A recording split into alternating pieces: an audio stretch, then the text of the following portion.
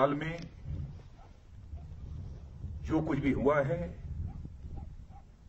भारत और चीन के सेना के जवानों के बीच मैं कह सकता हूँ कि आप लोगों ने केवल भारत की सीमा की सुरक्षा नहीं की है, बल्कि भारत के 130 करोड़ भारतवासियों के सम्मान की आपने सुरक्षा की हमारे राष्ट्र की सीमाओं पर यदि कोई आँख उठाकर देखने की ज़रूरत करता है, उस समय हमारा जो स्वाभिमान जागृत होता है, उसे हम उसे हम राष्ट्रीय स्वाभिमान कहते हैं।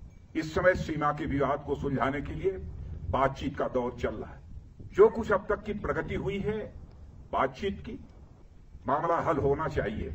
लेकिन कहाँ तक हल होगा, अभी इसकी, इस संबंध में मैं पूरे, कोई गारंटी नहीं दे सकता हूँ।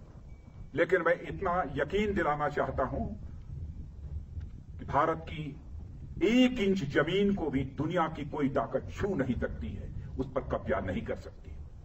हम अशांति नहीं चाहते।